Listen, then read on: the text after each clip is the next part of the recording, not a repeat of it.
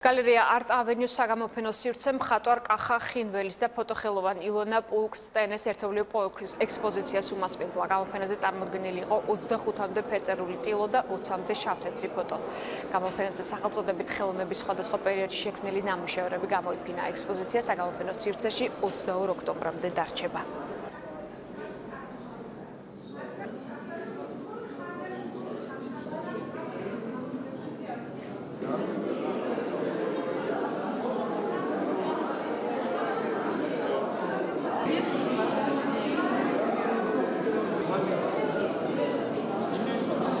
ჩვენი ნამუშევრები ფაქტურად რადიკალურად განსხვავდება ერთმანეთისგან შავ-თეთრი ფოტო და ფერადოვანი ფერწერა.